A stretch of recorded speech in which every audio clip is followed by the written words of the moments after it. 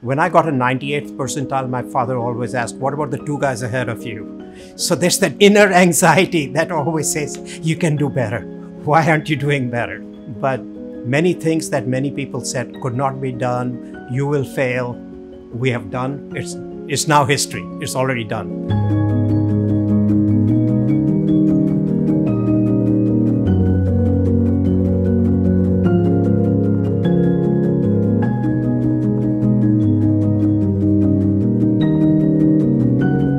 The liver is the driver of human health and well being. When the liver is healthy, the other organs are healthy. If the liver goes down, the other organs go down. What brought me into hepatology is our patients who always did so poorly when they had serious liver disease. Patients with cirrhosis would come in and die every day of the week, and there was so little we could offer them. That made me start thinking about why we needed to make progress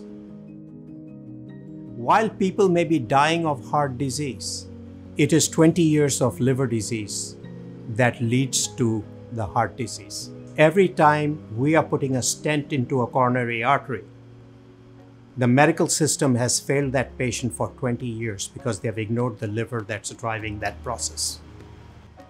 And that's an important paradigm shift. We can now resolve this disease in 70 to 80% of people with drug therapy that we started here. There is hope that we might even be able to reverse cirrhosis. And for people who have early stage disease, we can wipe the liver disease out in over 90% of patients.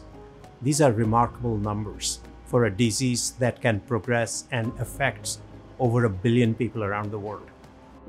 I'm very proud of the team we have put together working on creating the infrastructure where future generations of investigators can come and have a successful career and fill in knowledge gaps that will help people all over the world.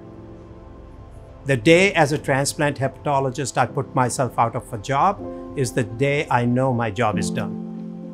Then I think that would be a life well lived.